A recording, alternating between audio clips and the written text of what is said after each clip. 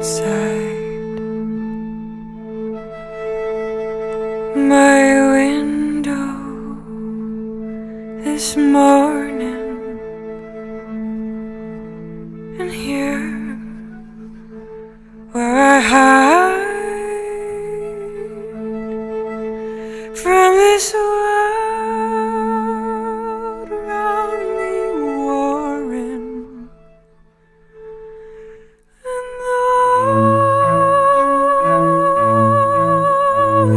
first